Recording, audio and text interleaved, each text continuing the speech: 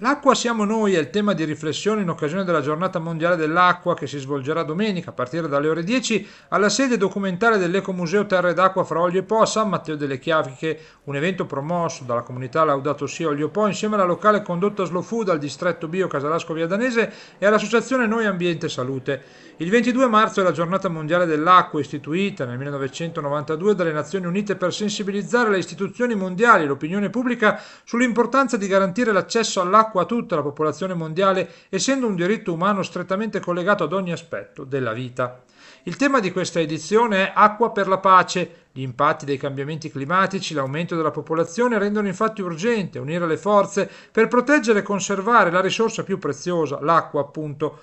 La nostra stessa esistenza dipende da un equo ciclo dell'acqua. Dobbiamo imparare, perciò, spiegano gli organizzatori, a condividere questa risorsa vitale per la nostra salute, l'agricoltura, l'economia, l'energia e l'ambiente. Il programma San Matteo domenica si articolerà in varie fasi, alle ore 10 e alle ore 11 le visite guidate all'impianto idrovoro di San Matteo e l'approfondimento sulla storia idraulica e sulla bonifica del territorio all'interno della sede documentale dell'Ecomuseo. Alle 12.30 la possibilità di un pranzo frugale con prodotti del territorio. Alle 14 l'inizio dei laboratori per famiglie e ragazzi sul tema dell'acqua utilizzando materiali di recupero, ingegno e fantasia. Alle ore 16 l'inizio delle relazioni a cura del dottor Fabio Severi del tavolo del Mincio e del dottor Remo Valsecchi, giornalista di Altra Economia.